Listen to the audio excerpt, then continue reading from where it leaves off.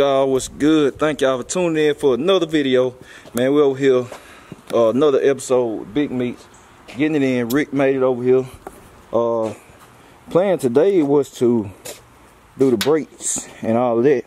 But y'all saw in the uh the last episode, I had a backfire, but I don't know, we might hit the, well he wanna put the vacuum gauge on there too, but uh been reading your comments and all that too, and I still gotta get that PCV valve. I need to call and get it ordered, but saw some uh he saw some squirting on the intake right here. I ain't paid no attention. And I saw one of y'all said it might have a uh, intake leak, vacuum leak. And the hole's ear cracked. The whole the whole split right there. So that could be causing a lot of problems too. Be surprised how how many problems some some like little like that will cause. Somebody's talking about the fast idle. So we're gonna cut that cut that piece off of it. That's probably where the oil come from too. We're gonna cut that off of there. Uh fix that. But uh yeah, I don't know what the tack plan is. Say we said we're gonna do the brakes, do the front brakes on. Then we gotta change the plugs, of course. Like I say I got the I got the new plug, same plug that when it, that was in here. It's a hot plug, all of that, but y'all know y'all saw the last video, got the exhaust on. So gotta go get the get the hangers put on. And yeah, after that, we'll be ready to ride. And say I got to have the front brakes on to the ride car. I don't have a tie to go over there like I told y'all. A tie right there. But the rotors I got is a 5x5 to make the uh, bolt pattern the same for people that been missing episode. I got a big Chevy bolt pattern on the back due to the rear end. And I got a small Chevy bolt pattern on the front. But it'll all be 5 on 5. It's all said and done. So about to get everything rolling. Y'all stay tuned. I'll catch y'all in a minute. Alright. So we about to try to start it. Got the uh got new holes on the PCV. Gonna see what happens. Last time boy that thing was loud boy.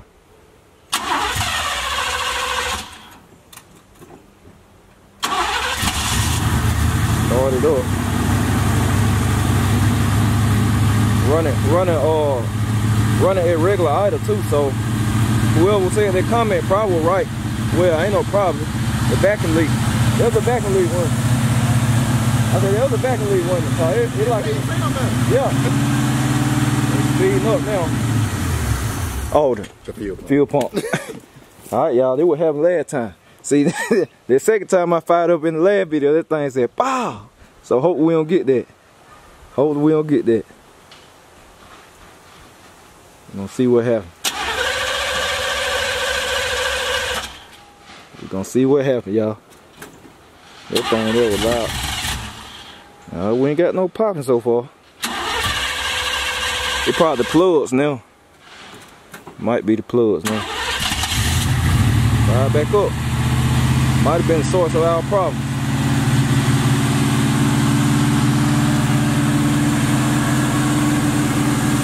I thought we could be plug now.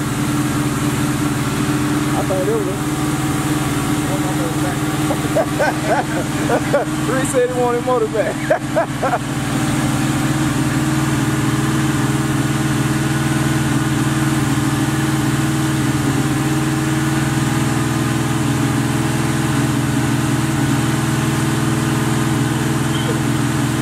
Running like a sewing machine.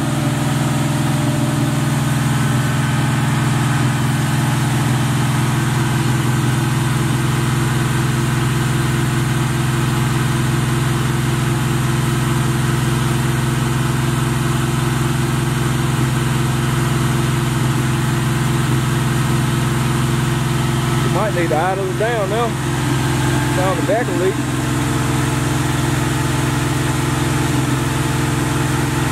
See if the next tote works.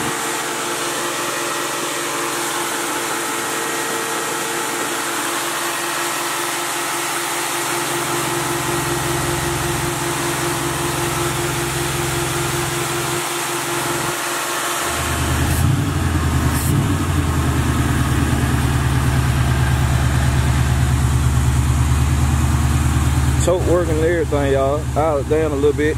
Cause we did have vacuum leak, obviously.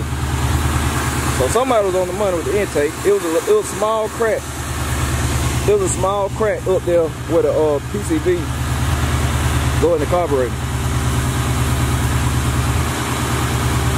Running it, running smooth as ever, and it still needs plugs in it. It's gonna get better.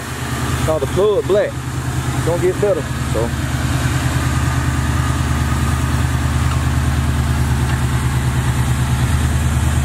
gotta see what they're coming out the exhaust. We don't know what it is, but why it's smoking like that. It ain't oil. Could be uh excess gas too, cause it, it dumped a lot of gas in uh on the plug that.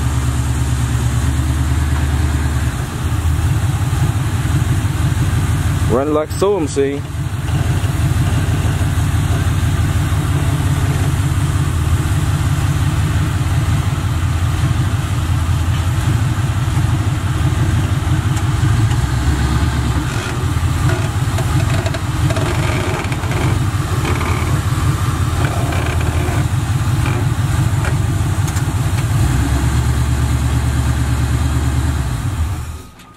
See if it crank back up, y'all.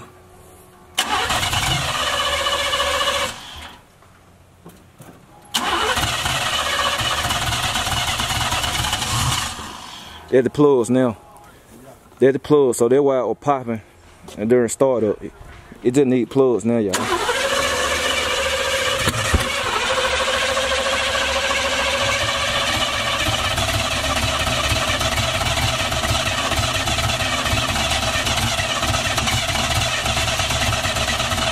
Yeah. You gotta put the plugs in it. Why hard to crank.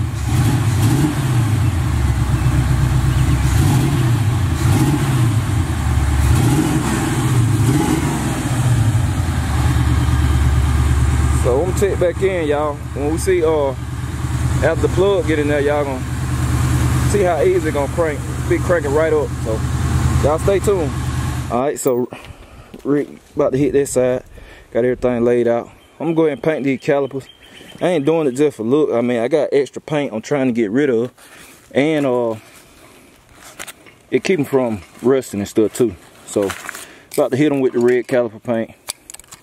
Said no, no reason in particular. Like I said, just keep them from rusting and all that good stuff. So, get that done while uh, Rick getting it took apart. Cause he, he ain't gonna take long. He, he take them things apart quick. So, do this. Then we're gonna slide over there and see what he got going on. Check him back in. Got that one painted. I see it. See, I gotta get rid of the paint, man. Too much stuff. Got too much stuff in the garage. Getting rid of these boxes. It's all gone out of there, you know. All of that. So, Rick already pretty much got it towed down. Brakes. It needed it needed this stuff too, y'all see. Rusty. But this, showing y'all too, for people that wondering if you can change your uh, bolt pattern in the front from small Chevy to big Chevy, yeah. On the box Chevy, yeah, you can. Cause like I said, they make some with the 11 inch brake and the nine and a half. If you get uh, rotors for, if you get rotors for a car with the 11 inch rear rear brakes, it'll be a big Chevy bolt pattern. In the uh, they use the same, they all go on, they use the same spindle. So the rotor will slide right on. Bearings the same, inner and outer bearings, all that stuff the same. They just bigger, they just bigger right there where the actual studs at. That's where they bigger at. Everything else the same. Even use the same uh caliper, all that. So that's a quick little quick little tip for y'all. Wonder. So we're getting that changed and uh then said I have all four matching tires too. Then I'll be able to dry this thing. See how it do, you know, make sure. See how it shift and all that stuff. See how it run on the road. Cause like I said, had an adapter over here with two lugs on the adapter and then five on the wheel, so you can't ride like that. But he getting that uh broke down. I'm letting that first caliper dry. Then we're gonna go back together with it. Alright, so he already took the rotor off. So I'm gonna show y'all there. The bearing fell out. They still got the bearing in there, but y'all see, they the same. They the exact same in there. Want to slide on there, make sure. Oh, you gonna show y'all this. Show y'all this right here. So got that in there. Last time, boy, we going back and forth with these things. When I had them, them uh, cross drill, drill rotors, y'all see, it go right on there. Go right on there. So that's why I'm telling y'all, these uh, rotors are interchangeable. This a small Chevy. This a uh, big Chevy bolt pattern. In the surface area right here, bigger too, but they use the exact same caliper. Like I said, same caliper and same brakes. I don't know, but if you want to change them, go bigger, you can. So, and look at that. Look at that. That thing had a ring on it. Needed it. It needed this stuff. Somebody come and say I need to change my back brake. I'm gonna get. I'm gonna get all that, man. I do. It's safety stuff. I'm gonna get all that. So, off with the old, and we're going on with the new. So, that that caliper should be dry. So I'm gonna bring that over here too, and then uh paint the other one. So we checking in and we got a problem. I've been saying that a lot late. But y'all see you got to have spindle too. Because the uh the total diameter of the rotor is way bigger. It's bigger right here, obviously. It hits the uh it hits the spinner, The hard part. I want not the dust seal. The dust seal would have been easy to fix, but it hits the uh the actual y'all see that the the middle. So that's the problem. That's the problem right there. So now I got to go back with a regular rotor. And I'm gonna be forced to I don't ordered these wheels, so I'm gonna use these wheels. So now I'm gonna have to run an adapter on the front of this all the time. Which I mean, it cool or whatever, unless I find spindles, but the parts store don't sell spindles. So I figure that out later down the line. But I'm gonna have to run with a regular a regular rotor. So I'm gonna have to grab them. I mean, the nearest parts store is in my hometown. By the time I get there, come back, it'll be nighttime. So I don't know. We're gonna see what's going on. Y'all just stay tuned. I like yeah. That, you know what I'm saying? All right, so just took out it's number three in it. Number three, clean, but don't have no uh don't have no good gap on it for real. Like it about to touch. Cause I'm changing the spark plugs out or Rick putting it back together. I'm changing the plugs out. So I'll be checking them and all that. So then we're gonna get it fired back up. Go back in here. So we're gonna get it fired back up. So uh let me get all these changed. Then I'm gonna check in with y'all in a minute. Alright, so we back. It's a new day. Same vlog, new day. Y'all saw what happened yesterday. Uh, so I'm, I'm putting these together car. I didn't even finish changing the uh, spark plugs or whatever. I can't remember on the edit because I ain't even went back and looked at the footage. But if I already posted the clip, then I'm just reiterating. But what happened yesterday, started taking the plugs out. Uh, one of the plugs was touching. The strap was touching the electrode. And those plugs that's in that car now, they still in big Meech. I bought brand new. Most plugs come pre-gap. Those were not pre-gap. I don't know what going on. They weren't dropped. The pack of plugs were never dropped and none of that. Not on my end. I bust them out the pack like that. We didn't look at them. Pop them in the motor. One of the electro, one of the straps were touching the electrode. Uh, they weren't gap right, which is why the car was running like it was. Uh, and where is the smoke coming from? Cause I seen I've been reading the comments, man. Wrong. A lot of people been wrong. Y'all talking about valve seals. No, the motor does not need valve seals. The motor does not smoke. Valve seals, yeah, true. And these uh throttle body heads, valve seals are known to go out, but this motor is a crate motor. It doesn't need valve seals. It's not just a old junkyard uh junkyard engine out of another car. Well, it's out of another car, but it ain't junkyard engine. But, but basically, no, it does not need valve seals. That's not all smoke y'all been seeing. I meant to say something in the other videos. It smells like gas. It's cause of the spark plugs. The spark plugs uh, is not able to burn up all the excess fuel because the gap not right. Like I said, you got one spark plug which was actually touching, which is why it was popping when uh during startup. And I'm surprised it's running. You had another one that was I'm talking about a hair from touching. So the spark plugs were just all off the gap and uh, they were filed out, obviously, from the Holley Blue. So it was just a lot of wrong stuff, man. No, no valve seals. What else I saw? Uh, the timing. People talking about the timing, how he did the timing. The car is in time. The car run great, man. The timing ain't nothing wrong with the timing. I don't know what y'all talking about. Yeah, some people are by the book people. Cool. Nothing wrong with that. I don't judge you for that, but don't judge the way somebody else do something when it's performing and it's not tore up, which that's not. So, what else, man? I don't know. People got their opinions and stuff, but whoever said something about the vacuum leak, yeah, was on the money. Was on the money with the vacuum leak. I said that in the video, cause that that uh, hole to the PCV valve had a small split and had crack in it, which caused the high idle and stuff too. But after I put these plugs in it, you're gonna see an immediate difference. No smoking, none of that. Like it just fired right up uh earlier today. But that's a little update on that. Uh so I'm about to get these plugs gap. Got my old uh AutoZone gapper. I didn't have a gapper. I got me a gapper. I'm gonna set them at uh 35. I'm gonna set them at uh 35 gap. That's about factory. And uh, yeah, gonna be good to go. So I'm gonna get them gap first, then I'm gonna pull them all out so I can just go right back in with them. Then you're gonna tell an immediate difference. Trust me. So y'all stay tuned. About to get that done. Uh, won't be doing the break cause Rick not coming over today.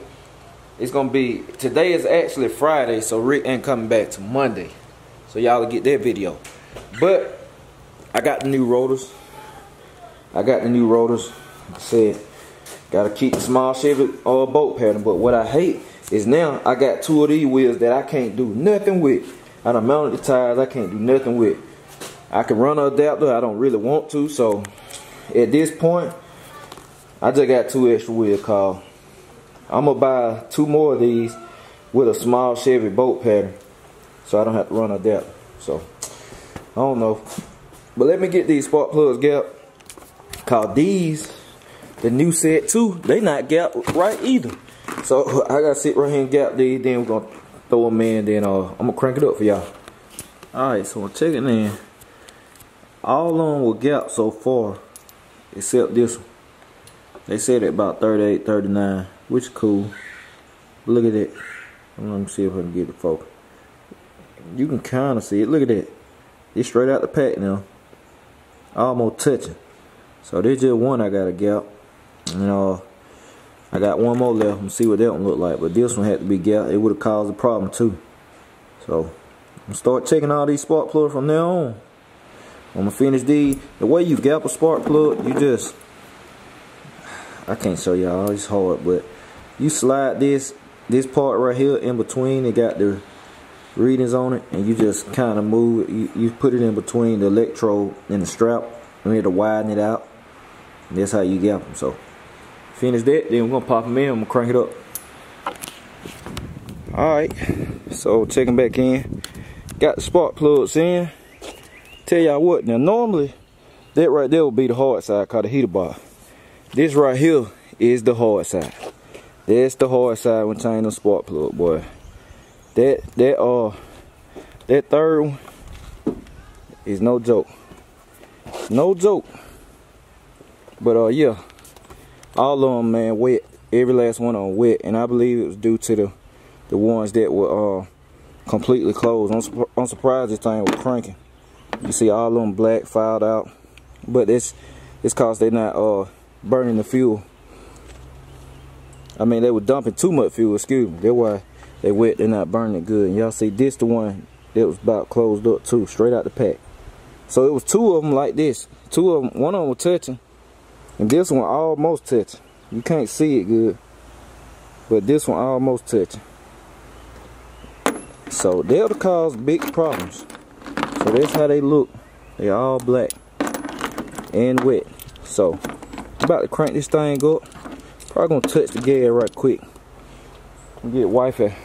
I'm gonna get wifey to film. So y'all stay tuned for the next clip.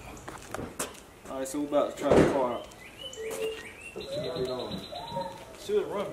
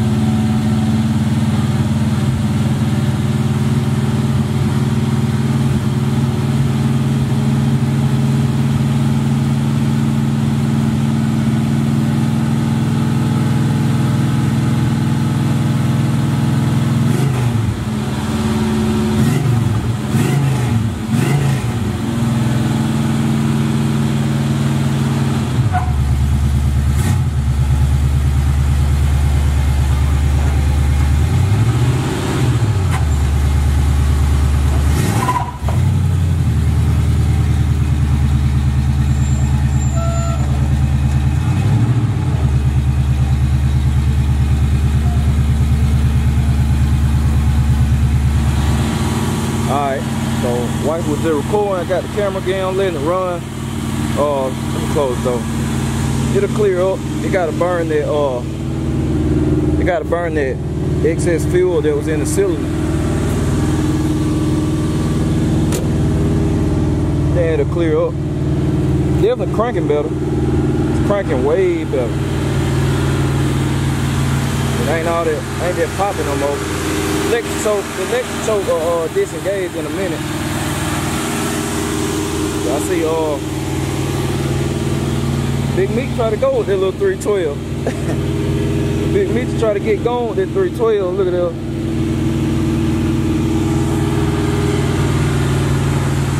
Nice little motor.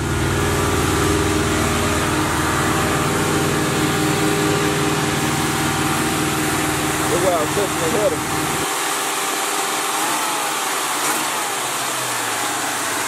There you go. The idle down all that where I was touching on the header, they still got to burn off.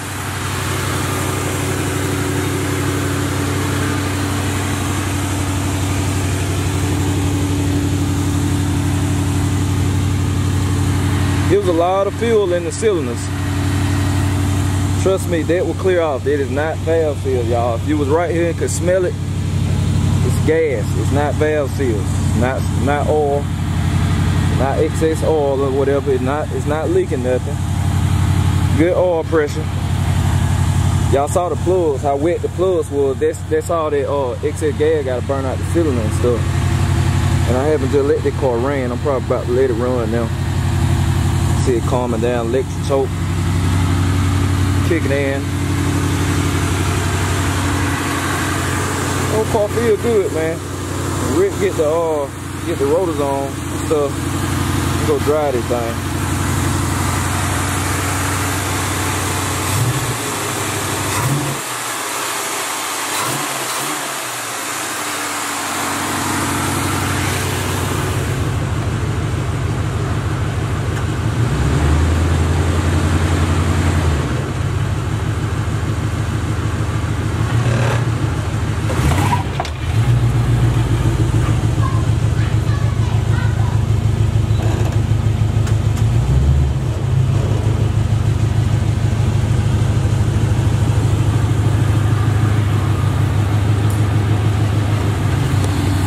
So it running, it running a whole lot smoother. Pretty much the best it I ever ran. Feel good. That thing pulling some nice little more for a 312. Like it wanna keep keep spinning. Straight standstill. Uh like I said, I'm gonna let it run. It'll clear up it's gonna clear up and get better and better when it run out of excess fuel. I might just let it run and uh, let the gas run out of it. I had put five gallons in it, but like I said, I might just let the gas run out of it. Y'all see it ain't it ain't popping. Turned off, uh, crank it again either. Running cool, 160 degrees. Let's see. crank this thing up again. See that? Spark plug. Crank up on the dime. Crank up on the dime now. I think meat's ready. I'm uh I'm gonna let that I'm gonna let that car run. I'm gonna let it run till that clear all the way up.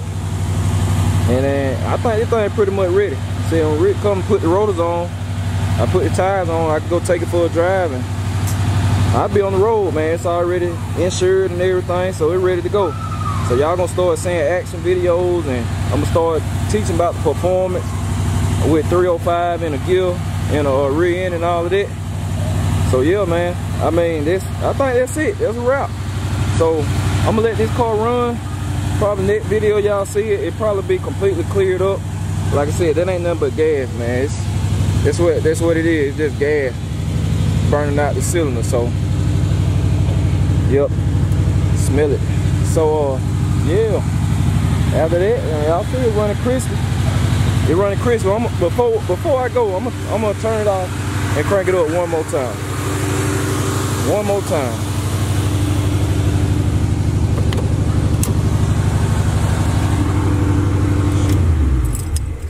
One more time. Show folk. Get it. I forgot. You'll see little pop. But it'll clear up. But yeah, that's it. Let this thing run, like I said. Hope y'all enjoyed the video, man. I'm gonna keep the content coming. Got Dolo updates coming. They, probably, they, they pretty much gonna end the series after we do the front rotors of Meech and we take the front drive, the first drive. It's gonna end this build series, but content will keep on. It won't be no more build episode, but so pretty much running. But yeah, that's it. Hope y'all enjoyed the video. Catch y'all on the next one.